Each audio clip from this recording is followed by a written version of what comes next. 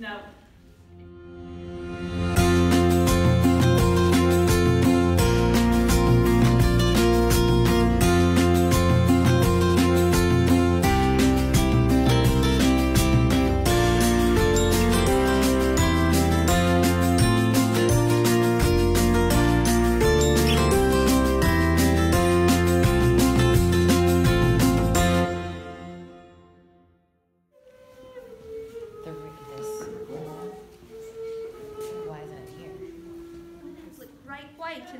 Clean. We need to use bleach, and we make the bleach out of the pea.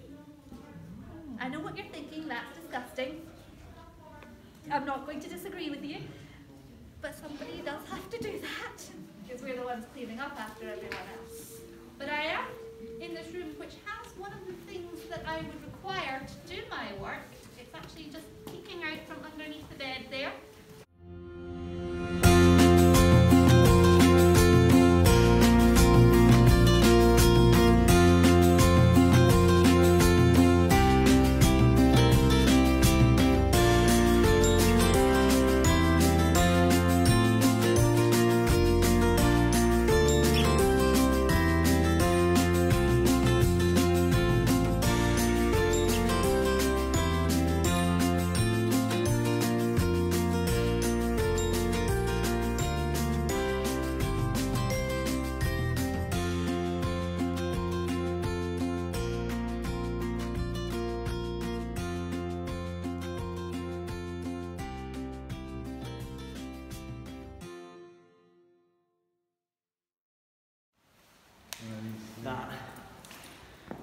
Yeah. So unfortunately, this was probably maybe made uh, in the likes of maybe India or China or stuff like that. Just really dreadful.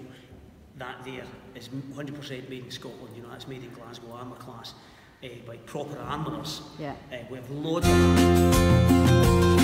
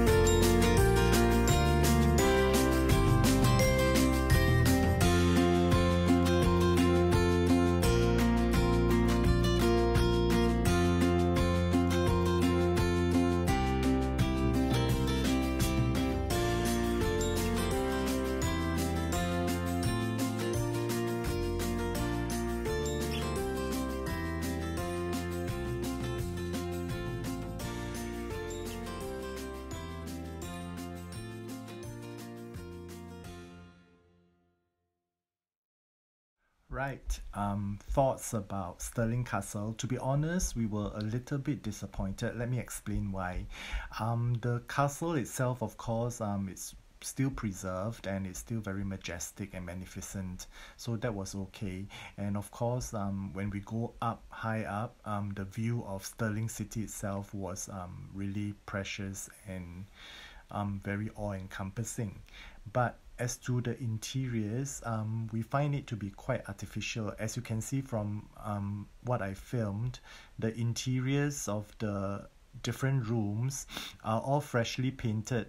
I rather they leave the walls, however faded, um, intact. Only the outer, inner, and um, the actual chambers of the queen and the king are opened, but only the queen's um, inner chamber is fully furnished whereas the king's chamber we only got to see the ceiling treatment and of course again they are all reproductions. So that that is a little bit um, of a complaint that we all shared. Nevertheless of course um, it is a very interesting trip um, to know about the history of the castle itself and the rulers that you know occupied it. So yeah that's about it